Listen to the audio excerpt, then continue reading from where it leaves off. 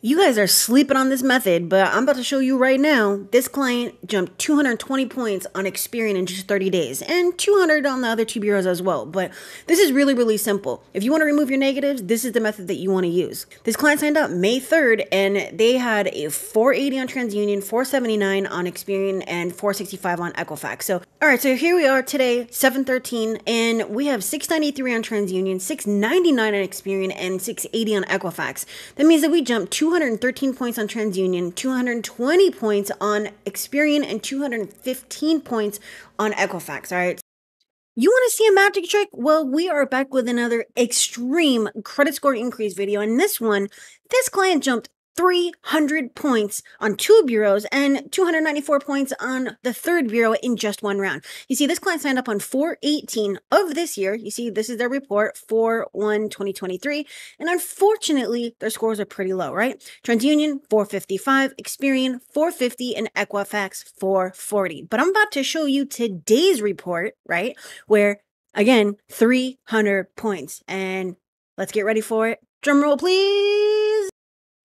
We are on 525. That's today, my friend. If we scroll down, here we go. Wham bam. Thank you, ma'am. We have 771 on TransUnion, which is great.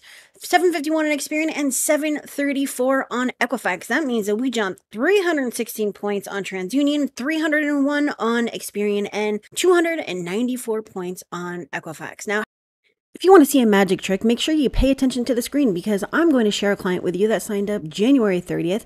Their scores were 506 on TransUnion, 450 on Experian, and Equifax was a grand total of 497. However, today, April 3rd, their scores are 250 points higher, and I'm about to go show you right now. As you can see, here we are on April 3rd, and we have a 759 on TransUnion, a 707 on Experian, and a 786 on Equifax. That means we jumped 289 points on Equifax, 257 points on Experian, and 253 points on TransUnion. So I have 1,200 videos that might be able to help you get where you need to be, but otherwise, use the link at the top of the screen to schedule a call with me to see if I can do this for you, or or just subscribe to increase your credit score.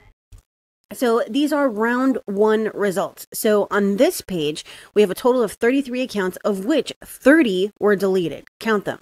This is a total of 33 accounts. 30 of them say deleted. 46 accounts, 39 of which were deleted on round one. Let's go to the third page 46 accounts, of which 34 were deleted. If we go to page four, we're going to see 14 accounts two were deleted and one no longer on the file. All right, I'm counting that as a deletion. The rest of these were removed on the second round. These are results directly from TransUnion for this specific client. And again, going into round three, we had zero left on TransUnion, 42 left on Experian, and 25 left on Equifax for a total of 450 accounts removed in just 60 days.